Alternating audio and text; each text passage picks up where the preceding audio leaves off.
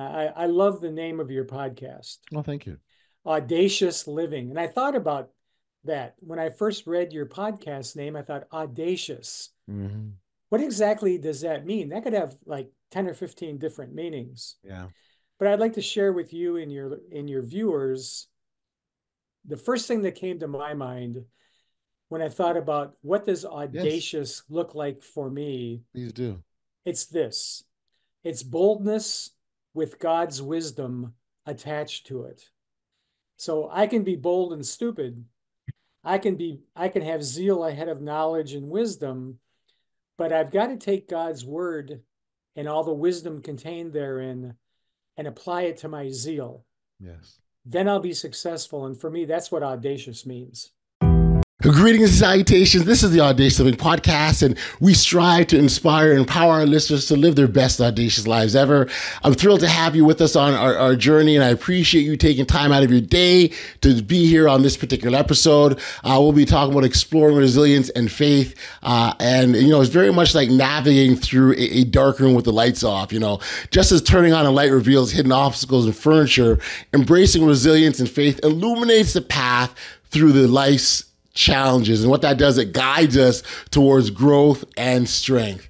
Now, Dr. Guy Glad is a seasoned author and educator with a background in counseling, administration, and strategic leadership. Uh, he's got a deep commitment to guiding individuals towards resilience and faith. Dr. Glad's work focuses on integrating Christian principles into personal growth and overcoming obstacles. And this episode, we are honored to have Dr. Glad share his profound insights on resilience, faith, and the transformative power of embracing one's faith journey. Enjoy.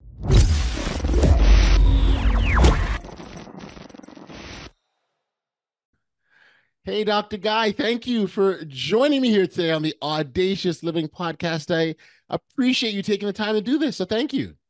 Audley, it's it's an honor to me, and I appreciate you having me on. Thank you.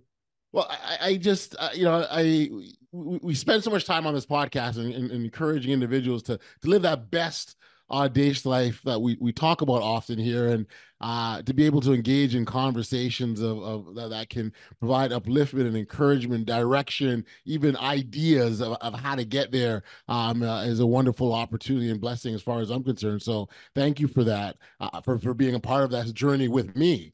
Um, the, the, the one thing that's very very very clear and I, I, don't think anyone will be surprised to hear this that when you know that journey of life is as much as we want it to be uh, as rewarding and fulfilling as possible sometimes on that pathway to get there there will have obstacles and challenges and pitfalls and some people call them tests, but regardless, they are things that we need to face and, and, and, encounter. And oftentimes, those are the things that are in front of that greatness that we're after. Um, and so, uh, looking very much sort of sort of talk, looking forward to talking just about the the the the the things that you know, the resiliency, for example, that we need uh, um, to to the to get past adversity and, and things of that nature. But before we do that, I wonder if a starting point, if you can just fill our audience in in terms of uh, the work that you do. I know you're, you're doing a lot of writing right now, so maybe talk about your your path to, to the, to the point that you're at right now. Okay, well, I'll try to keep it short. Um, I am writing full time. Okay. I'm in the process of finishing up my fourth book. Mm-hmm. Uh, my first three books are going into their second printing. Wonderful. I'm thankful for that. Mm-hmm. Uh, I teach also at a, at graduate level, graduate school level. Most of my students are doctoral students. Okay. And um, and that's pretty much what I'm doing right now. I've retired two times in my life so far. I spent 30 years in the Army as an Army chaplain, okay, ministering to soldiers and their family members. And then I went back to work for the Army for seven years as a civilian uh, behavioral health and addiction medicine therapist. Okay where I had on average, an average week, I'd have 35 individual patients and I would run two groups also, one addiction group and one PTS combat PTSD group. Mm. Uh, and so um, I retired from that uh, after seven years because I really felt God calling me into teaching full time. And I, I phrase it like this I, I, frame it like this it's time for me to start giving back. Yeah. And so I wanted to start writing being an author has been a lifelong dream for me that, you know, one of those goals someday, mm. someday when when it's the right time, I want to stand in the door and I'm ready to do it, Lord. And and it came along seamlessly, just like everything else in my Christian life. Mm-hmm. Everything has been seamless. Everything has worked out for the best. And um, yeah, there's obstacles, there's speed bumps, there's tests and trials, but that's all promised in God's word. We will be tested, we will have trials. Right. Uh, but that's why God gives us his word and all of his principles in his word that if we follow them, we will be resilient. And there is no obstacle big enough for us to to to be defeated by. There is no right. speed bump big enough for us to get over. And um, and so that's been my primary life lesson. I, I love the name of your podcast. Well, thank you. Audacious Living. And I thought about that when I first read your podcast name. I thought audacious. Mm-hmm what exactly does that mean? That could have like 10 or 15 different meanings. Yeah. But I'd like to share with you and your in your viewers the first thing that came to my mind when I thought about what does audacious yes. look like for me? Please do. It's this. It's boldness with God's wisdom attached to it. So I can be bold and stupid. I can be I can have zeal ahead of knowledge and wisdom but I've got to take God's word and all the wisdom contained therein and apply it to my zeal. Yes. Then I'll be successful. And for me, that's what audacious means.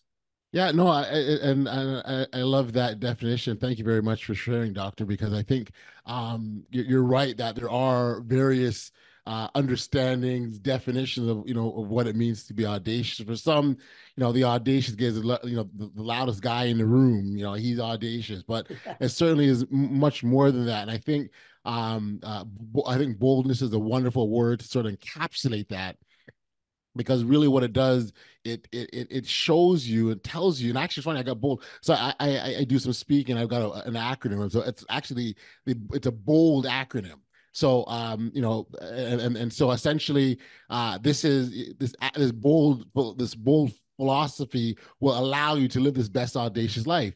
And so the B stands for better than you were yesterday, which is, which is really encompassing ongoing learning, right? Le- learning is continuous, is ongoing.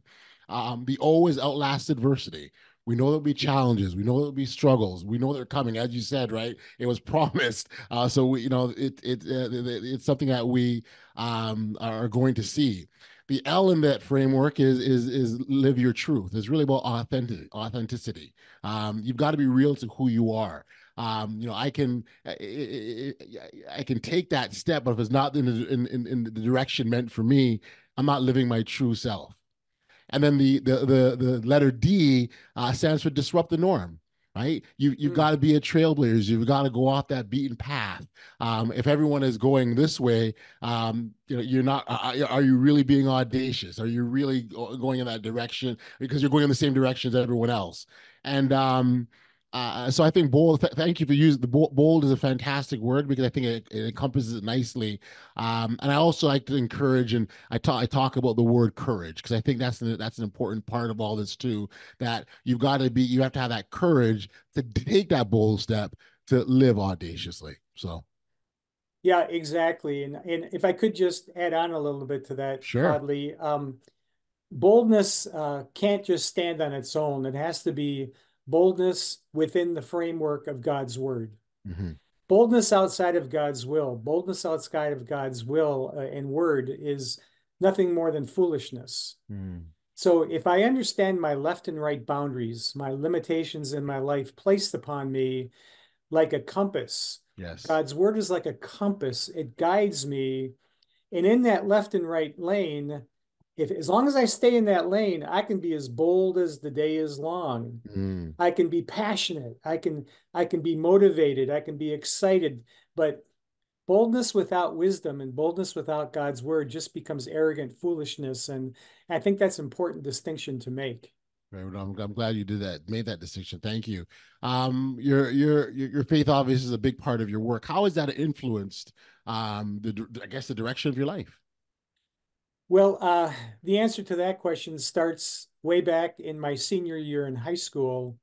uh, where I, after arguing with God for three months, I was involved. I was involved with a youth ministry in high school called mm-hmm. Youth for Christ Campus Life. Okay. And uh, every time I'd go to a meeting, like a fun event, like a roller skating party or a bowling party or something mm-hmm. like that, the leader would always sit us down halfway through and have a short five minute Bible study. And oddly, I could be having a great time, but after that Bible study, I was always depressed, mm. always sad, always like um, just just really sad for some reason. I finally said to him after a couple of months, I said, "Why does this happen?" And he said, "This is a quote." He said, "Because God's trying to convince you of your sin and your need to accept Christ as your Savior." Now, I argued, I thought I was a pretty good guy. You know, I wasn't guilty of any major right. sins or anything like right. that. So I spent three months every night at home in my bedroom arguing with God about why I wasn't a sinner and I didn't need Christ. Uh, but guess what? After three months, guess who won that argument? God. Yep.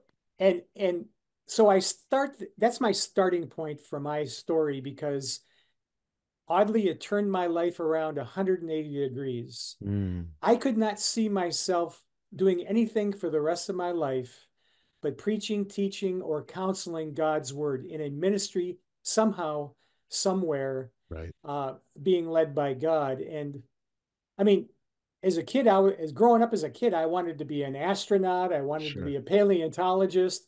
I wanted to be a law enforcement officer. I even went so far as to take the written exam and get accepted.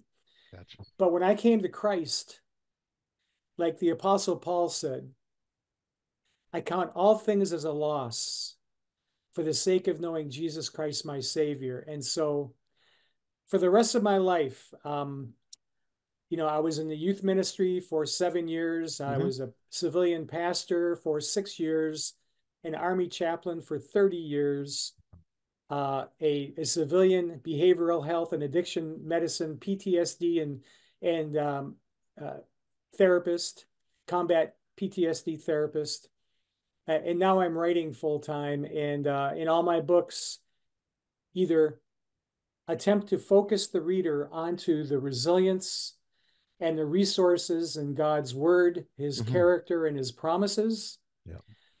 or to or to um, challenge an unbeliever or someone who has left the faith to come back to Christ and see that he is the only way. Uh, so, so, so thank you. Thank you for sharing that. I very much appreciate that. Um, it, it's, it's, it's obviously clear that there's been an influence and, and how you've not only, uh, um, uh, the, the work you've chosen to get involved with, but the manner in which you live your life. And uh, being that uh, being that sort of example or beacon is so important for others to be able to see right? So you're not just talking it you're walking the talk as well um, and that's a that's, that's a key aspect of, of, of having an impact on people, um, particularly those who, who, are going through challenges and struggles. And you did mention um, that you work with those with uh, with addiction issues and uh, recovering from PTSD. I would imagine um, uh, that would have been a very trying time or difficult time, given the nature of some and, and the seriousness of of of the, of, of the challenges that you're dealing with.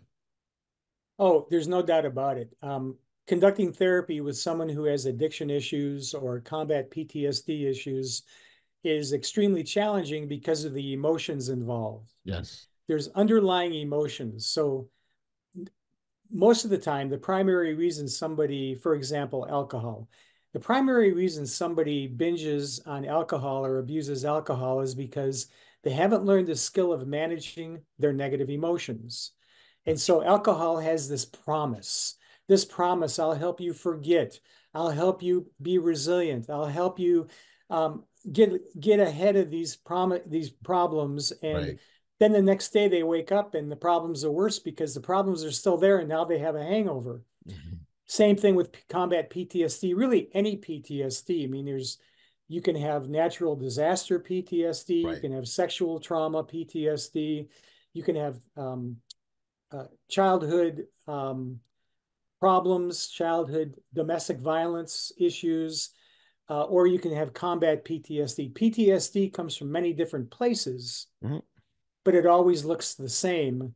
And it's the same as treating addiction, and that is you got to get to the heart of the matter, which is not the traumatic event. Right. It's the emotions attached to that event. And nobody wants to deal with that. Mm-hmm. It's easier just to talk about the event. I mean, if you go to Denny's on a Saturday morning and you find a, a big round table full of combat veterans uh-huh. and you just sat down there and listened, they would tell story after story after story of their combat experiences, but none of them would talk about how they feel hmm. about those combat experiences. So I started in my PTSD group. Um, the, the first time I took the group to kind of get to know the 15 guys in the group. Mm-hmm. I said, I just want to ask you all, you know, we introduced ourselves. They told me their story. Of course, all of them told me their name. Yep. All of them shared that combat story that they yep. had, the traumatic event. And I said, I want to end today's session and I want to give you something to think about for next week's session. And they went, okay, cool, Dr. Glad. And I said, here's the question. Think about that traumatic event that you just shared in your introduction with me. Mm-hmm. And next week, I want you to share with the group and me what feelings you have attached wow. to that trauma. And Audley, you could have heard a pin drop because now now the, the fear is in them. They got to open up that can of worms. And you know when you open up a can of worms, it stinks. Oh, absolutely. I, I, I got sorry to cut you. off. I got to ask though, did they identify it as trauma at that point, or was it just a story to them? Well, um, they understood what it meant when us medical personnel would would call it trauma. Okay, okay. They understood that that's just a medicalism, just another another catchy term for what they went through. And uh, I'm not going to I'm not going to quote what some of them said in describing their experiences, but you can imagine it's colorful language. Sure. It's gravelly. It's gritty. It's down to earth. But would they would call it something that's really reflective of their feelings, but they they they were fine calling it that, but they did not want to hmm. open up that can of worms. Wow. Wow. So how how, how difficult was it to get that going and, and opening um, up, getting open up? Well, it surprisingly, it wasn't as difficult as I thought it would be. Okay. But the difficult part was keeping them on track hmm. because for so long they allowed their automatic negative thoughts and those emotions to derail them. It, it's their automatic setting in life. They yes. they viewed everything that happened to them through automatic negative thinking. Yes. Also known as ANTS. I have my own acronym, ANT mm. ANTS, ANTS. Yeah, yeah. yeah automatic negative thinking, and they had to learn the skill of defaulting to positive thinking, hmm. you know, like Romans 8 28. God uses all things for good to those who love him and are called according to his purposes. And so that's the positiveness in it is that God's always in control. I don't care what the media says. I don't care right. what's going on in Washington. I don't care what's going around right. around the world. The chaos that we face every day, that's a part of resilience that biblical faith will give a person is that is that in the middle of chaos, in the middle of anxiety, I can stay calm. Yes. So they continued as time would go on. If I didn't continue beating this drum every group, then sooner or later one of them would go off track and start to talk about the the event again and not the feelings. And so I had to gently, constantly bring them back on the track. And that was a repeated activity for me. Come on, guys, let's come back on track. What does that feel like? What emotions are you feeling? And and they smiled just like you're smiling right now, Audley. They would smile and go, Oh, Dr. Guy's at it again with his well, how does that feel? Well, you you you're you're undoubtedly challenging them in ways that they've never had to before, right? It's, it's That's it's, exactly right. And, and, and I would even bet that for some of them, some of them, they didn't even know how to properly express their feelings. Like it was a new new realm altogether for them. It was like having drowning men without any life jacket. Wow. They would go down and come back up again. Now, some of them had really wise wives yeah. But the wives never never um, approach it the way I did in therapy. The wives would just say to to them, "You really need to see someone, get some help." That's how they would frame it. Right. Um, right. And so so honestly, Audley, for a lot of combat veterans, it's much easier to go to Denny's on a Saturday morning and laugh and joke and eat their pancakes and share their stories. But but if you sat in on that Denny's breakfast group and you said the question, you said to him, you say, Bob, what did that feel like? That entire table would shut up mm. because nobody has ever approached it that way. Right, right, right. And that's and that's yeah, it's going into a whole new realm. And I could see where yeah, it was like, what do I do now? Kind of a thing, right? Like, I've never had, I've never had to talk about my full feelings, but there, there, there is a part of this, and and and and, uh, and I appreciate the fact that you've done that with them. Uh, there's a part of having that conversation that gives you some freedom, right? If you're if you're if you're bottling up and you're holding on to it, and and and and and then what naturally happens is your actions start to align with these emotions that you're bottling up and you're and you're limiting yourself or you're self-sabotaging behaviors or who knows all sorts of things that you're doing not recognizing it's because of the emotions that you're bottling up. And so I would imagine that once you start to do that go through that process with them you start to see some freeing up. Yeah and and i want to share with your viewers mm-hmm. um, from my first book ambushed okay. the siren song of alcohol use that about the research indicates on any given Sunday morning in church, there are about up to 20% of the congregation is struggling with secret addictions mm. of some kind, whether that be alcohol, other drugs, pornography, gambling, cheating on their spouse, whatever the case may be. And, and the kind of emotions that come with that, we all know this in our Christian lives, we've all failed Sure. In our Christian lives, we've all sinned, and and what are the two feelings that that come to mind when we sin and we we catch ourselves and we look back on that? It's shame and guilt. Mm. And and that's what Christians, Bible believing Christians, need to understand that that the more they bottle up, the more we bottle up our shame and our guilt, yep the worse it becomes and the more sinful our behavior becomes or our thinking becomes. Mm-hmm. And if I can just take my emotions to the cross, mm-hmm. lay them at the foot of the cross and say, Jesus, this is why you died for me. And I embrace your forgiveness. I repent and I, I turn to God and embrace his grace and mercy. Talk about being freed up. Yeah. That will free you up. Yeah. That's liberation on a whole other level. Amen. The the the, the other part about uh, feelings and emotions, and, and certainly in the in the context of of the coaching world, uh, uh, emotions oftentimes is, is seen as information. So if you're getting if if if it's there are emotions, if there are high emotions around something, there, there, there's there's information there's behind that. There's more behind that that's worth sort of exploring and understanding. And that's why the question about why or how or, or what what did you think about that or how do you feel about that? That's why that's so important because usually there's something behind that that's leading to why these emotions are emotions is the output the byproduct but there's more behind it. Absolutely there is. And if you can so let me give you my example. And one mm-hmm. of the reasons one of the many reasons i wrote my book ambushed is because I came from a Marine Corps home. I was an only child, and my father was a Marine Corps drill instructor who was an alcohol abuser. Mm-hmm. And when he drank, he was verbally abusive.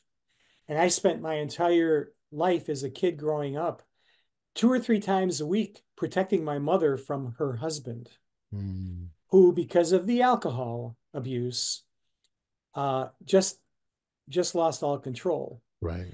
And so there were certain patterns regarding surrounding alcohol abuse I saw growing up and experienced growing up that carried over with me into my 30 years in the army as an active duty army chaplain. Right. Every one of my soldiers who came to me for counseling that were having uh, problems in their career or their marriage they were abusing alcohol. Right. The same patterns were there. Then i went to work for a large army teaching hospital for seven years as an addiction medicine and PTSD therapist, and the same patterns were there.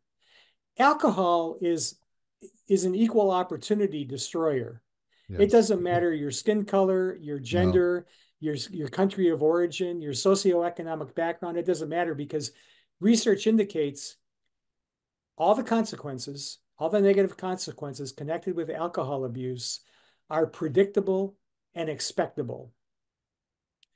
I, I, I don't even have to know anybody. If I if I have a new patient coming in to see me that someone has referred, and all I know is the reason they're coming to see me is alcohol abuse or alcoholism, I got 80% of the story right with that one sentence because I, I can guess fairly accurately what they're struggling with.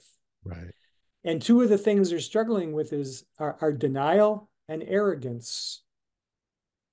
So we we got to stop denying that that we're not imperfect, sinful human beings. Right. Right. We've got to stop denying that we may have lost control of our lives because of the behavior we're engaging in. And so, denial and arrogance, as a matter of fact, in one of my addiction medicine groups, one time, um, it was an older group in terms of the time they were in treatment. Okay. And I was continually trying to come up with unique, catchy ways to to make this whole thing different than the same old phrases with them. Yes. And I said, uh, we started the group, and I said, hey, I want to share with, with y'all. There was like maybe 18 in the group. I want to share with y'all something exciting that happened to me this week. And they go, what's that? And I said, I invented a new step in the 12 steps of Alcoholics Anonymous. Okay. And they looked at each other and go, Dr. Glad invented a new step in the 12 steps of AA. I said, Yeah. You want to know what it is? And they went, Yeah. I said, I call it pre step one. And they go, mm-hmm. What's pre step one? And I said, Humble yourself. None of the other 12 steps work unless you humble yourself. Yeah. And there was this long pause, this long silence. And in a group, when there's a lot of silence, you know you got them. Mm-hmm. Yeah. And, and so that was an excellent group. When they came out of their shock, I asked the question, What are some ways that you have humbled yourself recently that you haven't in the past? Right. So it's a great question. Yes, I mean that, that, that, that's a great question to ask anyone. Forget the addictions. That's ask anyone generally, right? Amen to that. Right. I mean, if if you really stop and think about it, like I'll I'll even think myself, like you know, um, I I I, I can vividly recall. Okay, yeah. Here, so here's here's Audley Stevenson. Open up here. I can vividly recall a time when um uh, I stopped thinking that uh, that that you know that concept of a self-made man, right? Like I can do it by myself, and I you know I, I remember going, no, there's there's no such thing. Like, and I and when I look sort of back at my life, I could see like at, at different points, like when I had whether successes or wins or some sort of major accomplishment, it wasn't Audley Stevenson by himself. There was something, someone along the way that, and it could have been as simple as a a, a vote of confidence. Um, you know, maybe I was given a resource or maybe some piece of information, but somewhere along the way, I got help to help me get to where I needed to be. And so, when you can come to that under the recognize recognition that, yeah, you know what, it's it's not all me. It's it's it's never been right it's it's it is it's very it's, to your point you are humbling yourself and i think that's a very important exercise to go through because you're right nothing else follows afterwards if you can't do that effectively amen and and there are really two sides to the coin called humility mm-hmm. the one side is humble yourself voluntarily open your eyes and see the place of the transcendent god who is immanent in our lives the creator of all things wants a personal relationship with me through faith in Christ. Mm-hmm. And he he blesses me to be able to do what I have done and what I will do in the future. That's side 1. Right. Turn over to side 2. Side 2 is if you don't humble yourself, God will. And that's painful. Yes. Trust me, it's painful. I felt yeah. that pain. Yeah. And it's it's yeah. no fun. So side one is better than side two. Sure it is. Sure it is. Well, it's it's it's that whole uh, uh, uh, idea of hitting rock bottom, right? And that's what you're talking about. Like, yeah. like, and that's and that's oftentimes how far people have to get before they're like, yeah, you know what? I need to look at this. Uh, you know, you you you hate you hate the idea of someone who struggles with alcoholism goes so far as to lose their whole family and lose their job or whatever else that comes with it before they realize I've got to change. But oftentimes that's exactly what the determining factor is. Yeah, exactly. So, yeah, yeah. Um, uh, uh, uh, I think, uh, and I, I, think it works coincides well with humility is is as awareness. So you know, I, I think uh, there's an analogy I use when I talk about awareness is you know you, you imagine walking into a living room and you know in that living room you've got your sofa and your television and the couch and everything's laid out the coffee table is all there in the living room and you turn off the light right? The light only covers it. The, the furniture is still there and in order to see that furniture you turn that light on and you can see it's it's the things are still there. And so essentially the the, the that light switch forms the awareness but the pieces of furniture were always always there. We just didn't see them. And that's how i kind of uh, uh when i when i think about awareness uh that, that's how what i attribute it to because without awareness um again the humility is not going to happen right? Because you're not owning what's theirs and you're not taking ownership of that. And um yeah so i think awareness is a, a big part of, of of that of that healing process. Yeah exactly. The uh, in in the scope of addictions uh, I think that it, it, can you sort of talk about how significant awareness is in that in that scope. Well, it goes back to that word denial. Ah, okay. Uh, if you want to, if somebody has an alcohol related incident, yes, like a DUI, or their spouse kicks them out of the house because of their drinking problems, or the doctor says your kidneys are failing because of your alcohol abuse, um, it, it goes back to that idea of denial versus acceptance or uh, awareness of the truth. Mm-hmm. And so, awareness of the truth is, again, if you look at either step one of the 12 steps of AA or step one of the eight steps of Celebrate Recovery, which is the Christian version of AA, they both talk about the same thing, and, and that is I came to the point in my life where I recognized I had given up control of my life to alcohol, right. where I lost control of my life to alcohol. That's a critical first step.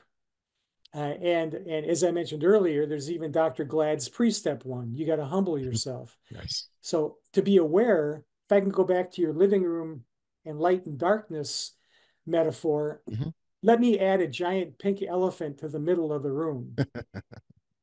and you turn the light on and you see this all the furniture and a giant pink elephant and you go, "Oh, I I'm not going to recognize that exists. I'm going to turn the light back, off because then I can't see it." it's the same thing in the same so so if someone has an alcohol related incident diagnostically and medically that's a huge warning flag that this person is out of control. Mm-hmm. Matter of fact, with DUIs, if a person is stopped for DUI, the, the research indicates that they have driven under the influence more than 25 times previously and have not been caught. Mm, wow. So that even makes the, the awareness and the flag even bigger. And so yes. I like to ask one question. Uh, sure, sure. Audley, I the question I ask to get beyond all, you know, the, the time of doing an assessment, I have to take my first patients through an assessment and the assessment lasts 30 minutes and has a bunch of questions regarding the alcohol use. I learned over time that there's one question you can ask. You could ask a family member, you could ask a friend, just in passing in the in a conversation. Here's the question: If you start if you start to drink, can you stop? We're sitting here watching the football game and and you're you want to have a beer? Okay i got no problem with that. I really don't. Because if you can stop you know that you're probably going to have one can in the first quarter uh, first half and right. one can in the second half along with the pizza and the pizza and the wings and everything sure, else. sure. But if you start to drink and you can't stop that's a diagnostic medical indicator that mm you you have some kind of a diagnosis, either alcohol use disorder, right. moderate or severe. Moderate is alcohol use disorder, moderate is alcoholism onset. Alcohol use disorder severe is the actual condition of alcoholism wow. and requires detox. But that one simple question, you could ask around, you know, when you're having pizza out at your favorite Italian restaurant. Mm-hmm. And you say, Hey, I had this dude on podcast the other night. He asked a really interesting question. I wonder what y'all think about this. Right. If you start to drink, can you stop? Now, in your group of friends, they might all say, Sure, no problem. Sure. That's a default answer for the addict, also. I've got control. Sure, no problem. I'm all in control. Also, I'm, I'm have, driving. they also have a resume of work behind them, and that is DUIs, marital yes. problems that are yes. alcohol related, yes. career problems, etc. Yes.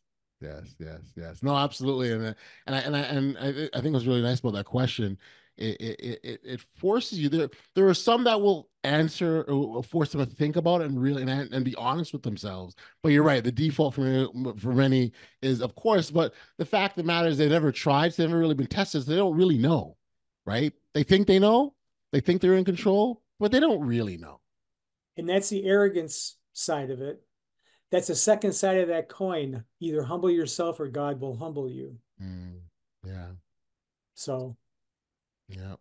Uh, uh, let's let's talk about your writing. I mean, you said you're your full time writer now, and and you're you're you're using uh, just your years of experience, knowledge, and insights uh, to to to help others and bless others by sharing. Um, uh, so you could talk about the work in, in that regard. Sure. Well, uh, an interesting process happened as I was writing. So as I mentioned earlier, my first book, Ambush, the Siren Song of Alcohol Use, was meant to specifically focus folks who are being challenged with alcohol use mm-hmm. issues. Uh, and then when I got done with that and it was published, I thought to myself, well, now, wait a minute. I talked about the inability to manage negative emotions as being one of the critical ingredients of alcohol use disorders. So why don't I write a second book on anxiety management, how to manage those negative emotions? So I did. The second book, Personal Peace, Embrace the Promises, mm-hmm. focuses on all the promises of God written in his word that tell us that we can indeed manage anxiety. We don't have to be a puppet anymore on the string where anxiety is the puppet master. Right. I mean, you think think of all the commands in scripture. These God doesn't stutter. These are not suggestions. In the original Greek language, uh, for example, in Philippians 4, 6, and 7, the original Greek language doesn't suggest something. It's written in the imperative mood, which is a command. And what's that command? Be anxious for nothing. Mm. But but God doesn't order us to do things that are impossible. Right. So you look at the rest of that verse and in the wealth of other verses on worry and anxiety throughout mm-hmm. the Old and New Testament. Mm-hmm. The Apostle Paul tells us, be anxious for nothing, but there's a key word there, but in everything with prayer and supplication, with thanksgiving, let mm-hmm. your requests be made known unto God, comma, and the peace of God that passes all understanding will guard your hearts and your minds in Christ Jesus. So I have some friends back home, uh, w- one in particular who is married to another friend of mine. Mm-hmm. She's having horrible anxiety problems in her life. And I shared some of this with her, uh, with them uh, at dinner one night, and and I just wanted to encourage them. And I, I, I want to throw this out here to encourage your viewers too, and that is if you know Christ as your Savior and you believe the Bible is the Word of God, one of those many principles in God's Word is that God gives us the command. We no longer have to be puppets to our anxiety. We can master our anxiety through the character of God, the promises of His Word, and our prayer life with Him. That's what the promise is. Right. That's what Jesus talked about in Matthew 6. That's what Isaiah talked about in Isaiah 26. We don't have to be puppets. And one of the things my friend's wife said to me was, I am so sick of being anxious all the time. I can't do anything. I can't be a good wife. I can't work. I can't function. I can't sleep. And I said, Well, God has relief for you. And and again, God doesn't stutter. He doesn't give suggestions. If he says something is possible, it is. Powerful. Very, very powerful. And and and and, and also truthful as well, too. Um yeah, it's it's it's the the, the idea of think so, so for many there, there, there's many that are carrying this idea of thought or notion that that they stand alone. So again i talked earlier about me being a self-made man. Like they think they can they have they have control over every situation. And and and the deeper you get into it the deeper you realize the more you realize that you really don't have control over the situation. And rather the situation is controlling you. That's very well said Audley and in addition to that i would say that when people are struggling with issues or sin or problems that have beaten them multiple times or they're embarrassed to share with other Christians, we as human beings have a tendency to isolate ourselves, mm-hmm. to create an island, call it call it Dr. Guy's Island, population one, or or Audley's Island, population one, and and we seem to live our lives thinking that uh, no one else has this problem. Right. No one else has struggles. Yep. No one else will understand when that's what everyone else is saying also at the same time. So, what happens, for example, the Christian goes to church with their spouse on a Sunday morning. They see the pastor. This pastor smiles and shakes their hand and says, Hey, good morning. How are you all doing? And they both smile and go, Fine, Pastor, we're blessed. And after church, they get back in their car and they get back into their argument on the way home about one of their issues that are not being addressed. Right, right, right. No, that's a great analogy, and it's very, very truthful, very, very truthful. I gotta say, Doctor Guy, this is this has been fabulous conversation. I still so appreciate you uh, being here. I think the the the, the points that uh, you've raised and enlightened us on uh, are important ones. Uh, for for listeners that wanted to to learn more about you or, or catch up with your work, uh, where, where could we send them?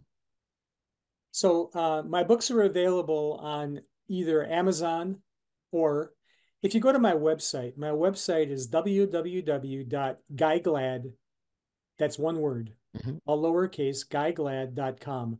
www.guyglad.com. I have on there a blog, I have on there musings, I have on there media of all my podcasts, and I have on there all my books and other publications that you can easily order with just one click. And and um, either way, you can you can find these things out. But I think uh, if I could just give one summary statement, sure. Audley, and sure. that is that if I could summarize, uh, oh, and so back to my third book, Resilient Faith oh. of Biblical Proportions. Yeah, yes. It's a look into the lives of the heroes of faith in Hebrews chapter 11. Mm-hmm. This is important for your viewers to hear, and that is every single person in Hebrews chapter 11, all Old Testament, mm-hmm. they were they were called out for their faith. They, they were shown as being models of resilient, successful faith. They all came from different circumstances. They all, fa- all faced overwhelming circumstances. Some of them came from different countries, different ethnic backgrounds, but all of them had faith in God and obeying God. And what they what, what the book Resilient Faith of Biblical Proportions does is it it gives a general overview principle of everything in life that faith covers and it's an overarching umbrella. It covers everything. Right right. If i make that determination. And so to summarize everything i've said i would i would encourage you and the listeners with this is there is always hope and you are not alone. Mm-hmm. so seek the help. Remember the hope resides in christ and not in some political figure not in some law not in a, a, amount of dollars in your bank account, not in your promotion at work, mm-hmm. not in the success of your marriage. It rests in Christ and Him alone. And um, and I would encourage you to not isolate yourself, seek help because because God uses a lot of tools to get to us. Mm-hmm. And the tools are much more than just our pastor yes. yeah. or our own stick to itiveness, our yep. own strength. Yep. so I would encourage you with that. Very well said, and I, and and I, I think uh, it's an excellent note, note to close on because it really uh, reminds us that you know we talk about the hope, for as example, that you know hope, hope, hope the hope is always there. It's how it's how hard you want to cling on to and hold on to is really what counts and that'll make the difference for you. So dr guy thank you. This has been been awesome conversation. Really enjoyed having you here. Um, such a pleasure. Uh, congratulations on a fantastic career 30 years in the military uh, another seven to go back and and, and, and, and help more people uh, to be able to re- retire again uh, for a second time is incredible but doing good work in the process. And so thank you for this. All the best and take care my friend. Blessings to you audley. Thank you